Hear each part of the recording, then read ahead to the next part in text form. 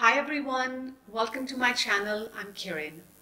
So recently I went on a no wheat, no grain diet for 30 days and in this video I'm sharing how that changed my life and made me quit gluten and grains for good, the unexpected health benefits I noticed along the way, and I'll also share some suggestions, my two cents, things to do if you choose to take on a similar 30-day challenge.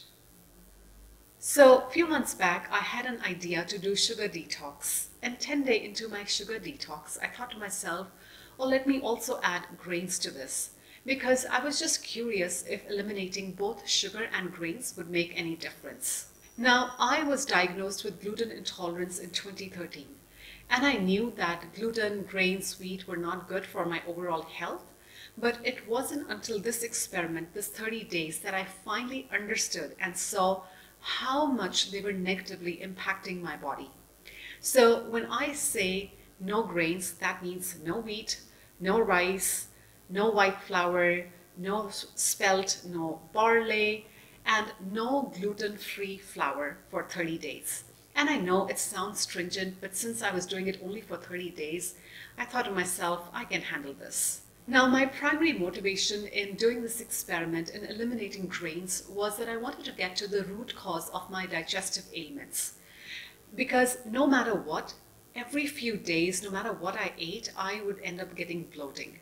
And this had been going on for a while and I was just tired and I wanted to address this issue for good. Now, prior to doing any 30 day experiment, I always like to do a lot of research just because I want to know what I am getting myself into. And so for this experiment, you know, I checked out a number of books on Amazon. Like if you look for gluten related books, there are tons of options. And the book that I leaned upon during this experiment was Grain Brain by Dr. David Perlmutter. Now, right off the bat, the cover of this book made a huge impression on me. Like I thought to myself, if this is what eating grains is doing to my brain, then quite honestly, I'm happy not having them in my diet.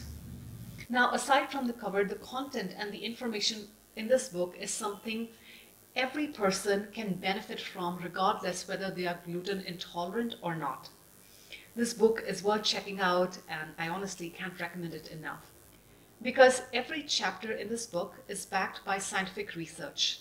There are links to research journals and studies all of them pointing to how gluten and grains negatively impact our brain. So I'll be honest with you, the first few days on no grain were challenging. But every single time my mind wanted to reach out to that piece of bread or that piece of cake or pasta or any other product that had gluten in it, I would bring up the cover of this book. And then I would think about my brain and I would tell myself, no, I am sticking to this protocol. And you know, this really goes back into tapping into your why. Like for me, my why going into this experiment was that I want my brain to function at an optimal level. I want the best functioning brain. I want brain at peak performance. Why? So I can advance in my meditation practice. Because if you're a meditation student like me, very quickly you understand all the magic happens right here. So that was one of my strongest whys, even more so than healing my gut, and which is why it made it easier to stick with this protocol.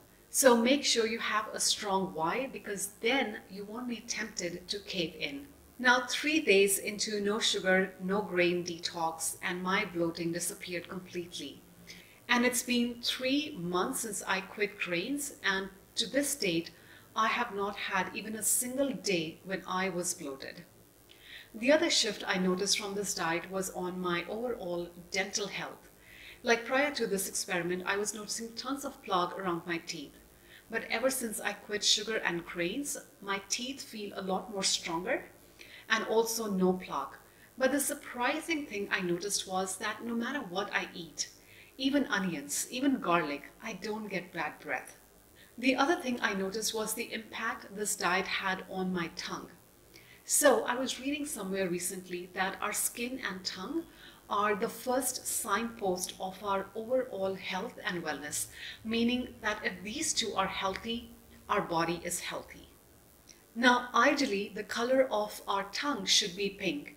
And if the color of your tongue is anything but pink, you might want to look into that. So a quick backstory, prior to doing this experiment, and this will sound like TMI, so forgive me for that, but every so often I would notice that after my meals, I would notice a white coating on my tongue. And I used to think, oh, this is maybe probably because I had some dairy product, and maybe everyone has experiences this, and it's normal. Turns out it's not normal because what happened is few weeks into this diet, into this 30 day no grains protocol, I started wondering, well, why don't I have that white coating on my tongue like I used to have before? Like, why does my tongue always stay pink no matter what I eat? That's when I started doing research. I found out that the white coating on the tongue is actually a sign of bacterial overgrowth and digestive overload. And this is something I would not be even aware of if it wasn't for this experiment. The other shift I noticed in my overall health was a relatively calm mind and a focused mind. Like I could focus for long hours without getting distracted and without that afternoon slump in the energy. So that was quite wonderful. Another interesting thing I observed was that ever since I eliminated sugar and grains, I noticed that my food gets digested a lot quicker. Like where before it would take anywhere from three to four, even five hours to digest food, now it's more like an hour, hour and a half tops. Now, during the 30 days of my experiment, I also lost a dress size, but more so, I lost weight around the belly area. So that was a welcome shift. Now, all these results, you know, when you combine them together, they pack quite a punch, and which is why it was so easy to say goodbye to grains, to gluten for good. And if you're thinking, Kiran, don't you miss eating pizza or cake? The answer is no, because there are so many alternatives. Like if I have to make pizza, then I reach out for cauliflower crust. If I have to bake cake, then I reach out for coconut flour or almond flour. So again, you know, in this day and age, the gift is that any recipe that calls for gluten, thankfully there are 100 options that you can explore. So I really never feel that I am missing out on anything. Now, one question that often comes up, I know I had it for the longest time, is, well, if you quit eating grains and sugar, what else is left to eat? The truth is there is tons of options for you to choose from because when you eliminate these two food groups, which is sugar and grains, you naturally gravitate towards more proteins, more fats, and even vegetables. You kind of start eating the real food. Now, if my sharing has resonated with you and you would like to try on a similar 30 day experiment, then my number one suggestion is really get clear with your why because you will need it in those first 10 days of the detox. The other thing is really take time to educate yourself because I feel when we consciously understand why we are doing some protocol, why we are making this change, why we are eliminating something, then it just becomes a lot more easier to stick with the protocol. So two books that I would highly recommend is number one, I already mentioned Grain Brain by Dr. David. The other one is Wheat Belly. Again, both these books have excellent backing of scientific research papers. So if you are someone who likes to dig deep into information, these two books are a great place to start. And on Amazon, you will find thousands of reviews of both books. So again, highly recommend them and worth your time. So my next suggestion is that before doing this 30-day experiment, really take time to understand how insulin works in the body. So as you know, insulin is a hormone and as long as insulin is present in the body, your body cannot lose weight. And guess what spikes insulin in the body? Sugar and grains. Now, there are some excellent YouTube videos that explain this whole mechanism. I have put a link to some of them in the description below, so whenever you have time, do check them out.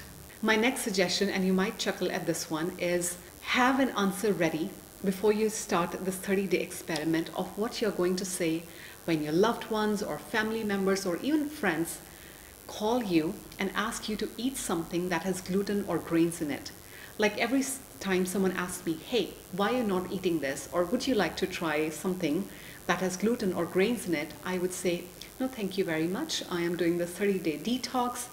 And this is the reason this book, I would show them a copy of this book that this is the book that tells me that I am better off without grains and gluten. Another thing I will add is a note about fruits. If you decide to do a similar 30 day experiment, then make sure you stay away from fruits, especially those with high sugar content. Because again, sugar will spike the insulin, making it difficult for you to lose weight. And if you must, try to stick to no more than one fruit a day. You know, during the course of my research, I came across a video by a doctor and he said, I'm paraphrasing here, he said something on the lines of, most people don't know how good they can feel in their bodies until they actually do. He said a lot of people think that having bloating or autoimmune disease or even achy joints is normal. And he said actually it's not. And personally, for me, this 30 day protocol showed me just that. Now, if you decide to do a similar 30 day experiment, let me know in the comments below how it went for you, what you learned from it, what benefits you noticed. I always look forward to hearing your comments, your feedback in the description below. And I hope the suggestions in this video were helpful. As always, please only take what resonates, discard the rest. Thank you so much for your time, and I will see you in the next video.